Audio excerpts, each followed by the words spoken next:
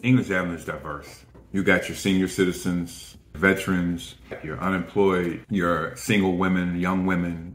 People are having to choose between eating and utilities.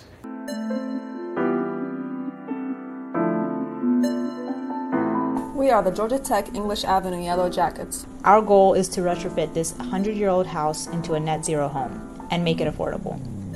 First, we used a land trust model to decouple the cost of the home from the land so the homeowner pays only for the house and not the ground it sits on. Second, we revamped the envelope to reduce the energy load and optimize the floor plan for different types of users.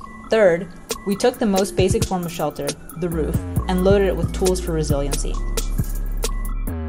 Creative solutions like this allow us to use conventional building techniques while reaching our energy goals and maintaining affordability, which is our top priority. Anybody can build a new house. Everybody can't do renovation.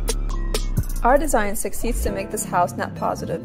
It brings down the EUI from 207 to 12 to minus 3 with solar panels.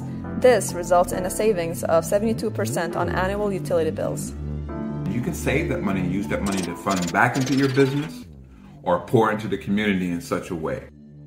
We envision building back a neighborhood that is not just a vibrant place to live, but is also a vehicle for the upward mobility and prosperity of its residents.